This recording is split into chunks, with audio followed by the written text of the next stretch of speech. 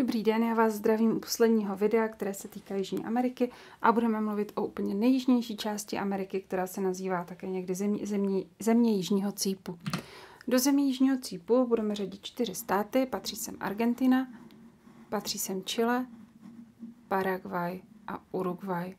A hlavní města Argentiny je Buenos Aires, Uruguay, Montevideo, Chile, Santiago de Chile a Paraguay, Asunción.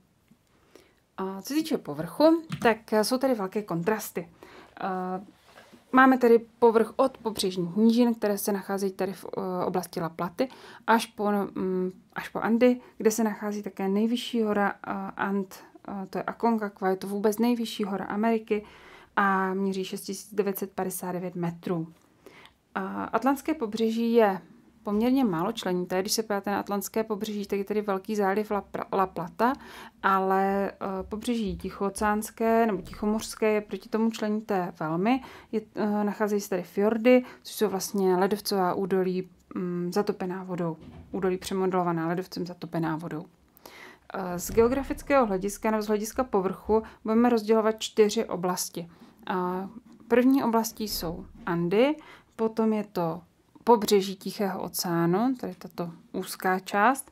A třetí oblastí je Laplatská nížina, takže tady tato část. A čtvrtá oblast je Patagonie, tady tato oblast. A začneme těmi uh, Andami. Takže už víme, že v Andách se nachází nejvyšší vrchol And vůbec, je to Aconcagua. Uh, nachází se v Argentině a protože geologicky už víme, že je, mm, jsou Andy velmi mladé pohoří, které vznikly podsouváním desky Nasky pod jihoamerickou desku, tak je tady velké množství sopek a uh, jsou tady také častá zemětřesení a s tím související jevy, jako například sesuvy půd a případně tsunami. Další oblastí je pobřeží Tichého oceánu. Tady dochází, nebo je tam poměrně prudký spád Ant k Tichému oceánu a, a nachází se tady nejsušší poušť světa, to je poušť Atacama, která vzniká vlivem studeného peruánského proudu. Když jsme mluvili o Tichém oceánu, tak jsme mluvili o peruánském proudu, který tímto směrem se pohybuje podél pobřeží Jižní Ameriky. A možná si vzpomínáte na jev El Niño, když tak si ho zopakujte. Toto je teda poušť Atacama. Na poušti Atacama se nachází zajímavý jev, protože jsme v oblasti geologicky velmi aktivní, podsouvání litosférických desek, tak kromě toho, že je tady velké množství sopek, tak jsou tady gejzíry, takže mm, toto je vlastně El Tatio, nejvýš, nejvýše, poho, nejvýše, nejvýše po, položené gejzírové pole a co se týče rozlohy, tak je to třetí největší gejzírové pole světa. Nachází se v Chile. Eh, další eh, oblastí je Laplatská nížina. Eh, je to místo, kde, kterým protékají řeky Paraná Uruguay a mají potom společné ústí La Plata. Vidíte, že La Plata je, tvoří takovou nálevku. Tady máme Buenos Aires, tady je Montevideo, Uruguay, Argentina. A e, protože tady protékají řeky Paraná a Uruguay, tak se tomu říká někdy mezopotámská Argentina. Vláha do této oblasti hm, přichází z Atlantiku ještě vrátím na tu mapu Brazílie. Takže vláha do těchto oblastí přichází z Atlantiku, tady tím, mm, z této oblasti. A proto čím víc se vzdalujeme od pobřeží, tím je ta oblast suší. To znamená, že jižní část je spíš vlhčí, ta severní část je spíš suší. V té jižní části, v té vlhčí, eh, je oblast pamp, jsou to takové travnaté plochy, pampy, eh, které jsou významné tím, že jsou tam velká stáda dobytka s tam pasou, a to ještě pampa. A ty oblasti, které jsou vzdálenější, eh, ta severní část je oblast, která se nazývá Gran Chaco a jsou to vlastně savany až polopouště. Jo, je to tady tato oblast, tady zasahuje do Argentiny, ale tady máme třeba i Paraguay nebo Bolívii, ale v Argentině teda velká část. A Gran Chaco má charakter takových savan až teda polopouští. Může tam být až velmi sucho. S tím, jak se vlastně vzdalujeme od oceánu a zvyšuje se uh, kontinentalita a tím pádem se snižuje množství srážek. Další oblastí je Patagonie. Patagonie je už mírný pás. V mírném pásu, stejně jako u nás v České republice, převládá západní proudění A to západní proudění je tentokrát z Tichého oceánu, takže já to zase vrátím zpátky na tu mapu. Takže v mírných šířkách převa, převažuje západní proudění, to je tady tento směr. A vidíte, že při tom západním proudění narazí ten vzduch, který je vlhký z oceánu, tak narazí na pohoří Ant a je tady jev, o kterém už jsme taky mluvili, třeba když jsme mluvili o Spojených státech, který se nazývá srážkový stín. To znamená, že některé oblasti Patagonie mohou být opravdu velmi suché. Takže Patagonie a e, tak, tak to vypadají ty patagonské chladné pouště v těch místech, kde je opravdu nedostatek srážek. E, Patagonie se nachází z 90% e, v Argentině a asi z 10% v Chile. A ještě je tady zajímavý, zajímavá věc, že je tady park, nebo je tady velké, víc, více národních parků, to je v oblasti Ant, je tady park, který, kde, se, kde jsou velmi úžasné ledovce, kam se teď jako zvyšuje turistický ruch, zvyšuje se množství lidí, kteří se jezdí eh, na tyhle ty jevy podívat.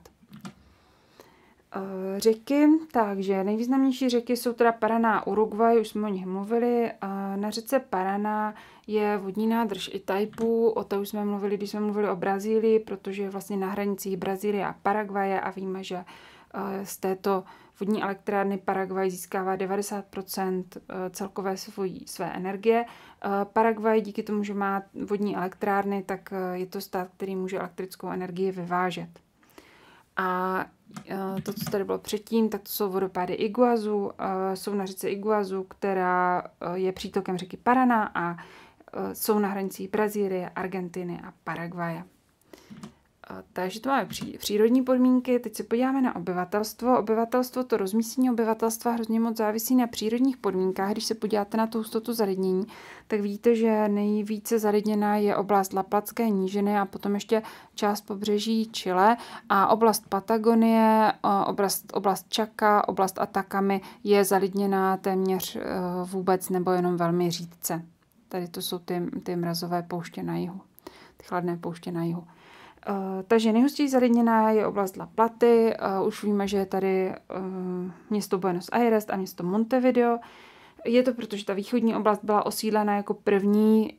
Toto je místo, kam přijížděli osadníci z Evropy a samozřejmě má také příhodné přírodní podmínky.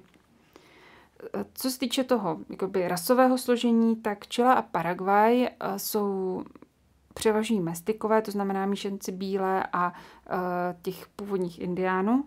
A uh, Argentina a Uruguay jsou v rámci uh, Jižní Ameriky nebo Ameriky vůbec takové netradiční, protože 90, nebo netypické, protože 90% obyvatel je bělochů v Argentině a Uruguay. Jazyk je španělština, jako všude, to už známe, a náboženství římskokatolické, jasné. V Latinské Americe má Uruguay podle Wikipedie nejkvalitnější demokracii, nejvyšší míru, nejnižší míru korupce, nejvyšší svobodu tisku a nejmohutnější střední třídu.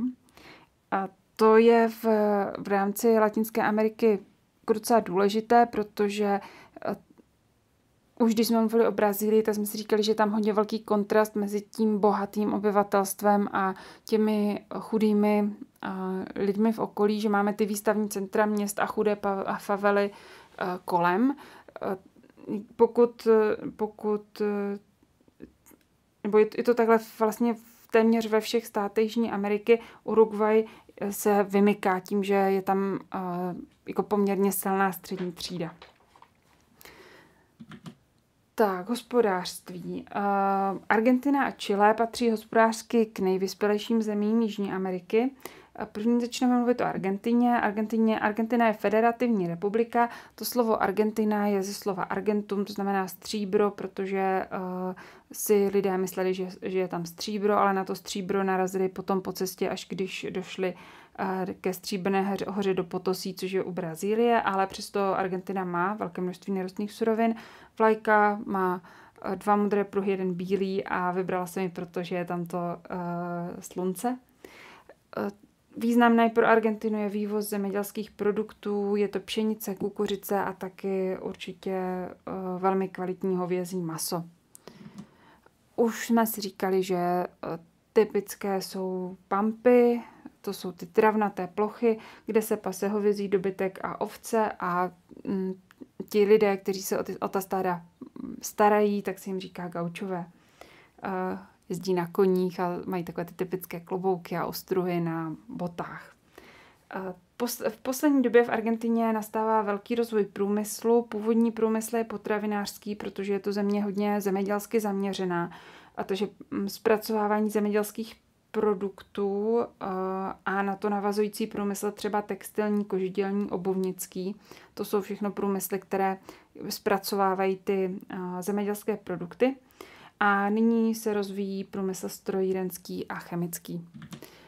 Z těch zajímavostí ještě o Antarktidě, o Argentině, o kterých nebyla řeč, tak je to místo, kde najdeme tučňáky.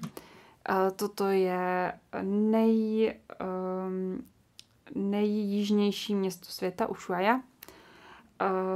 Potom tady je typické tango, jako pro Brazílii byla samba, tak Argentina to je tango. A ještě jsou tady Falklandy. Falklandy jsou ostrovy v Atlantském oceánu, blízko pobřeží Argentiny a Argentina s nimi vede spor s Velkou Británií, protože patří teda Velké Británii, ale Argentina by je ráda měla pro sebe.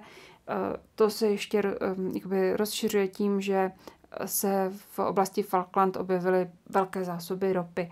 Eh, nicméně obyvatelé Falkland v referendu eh, se vyjádřili v tom smyslu, že chtějí zůstat u Velké Británie.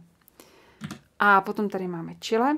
Eh, Chile je známé těžbou nerostných surovin, je na prvním místě na světě v těžbě mědi a to už velmi dlouho. Měď tvoří 40% exportu Chile a na světovém obchodě se podílí 20% No a potom je ještě významný pro Chile rybolov, o tom jsme mluvili, to je dané tím mm, peruánským proudem. S Argentinou se dělí o ohňovou zemi a má velmi protáhlý tvar, jak jste si určitě všimli, což není úplně snadné na eh, třeba obranu. Paraguay a Uruguay jenom velmi stručně, jsou to zemědělské země zaměřené na jak rostlinnou, tak živočišnou výrobu a Paraguay má nevýhodu v tom, že ne, nemá přístup k moři. Eh, tohle jí tak jako trošku snižuje její ekonomické schopnosti a patří na jeho americkém kontinentě k těm chudším. Takže to je pro dnešní hodinu všechno a já se s váma těším na příští online hodinu a na příští video, které už bude o Ázii.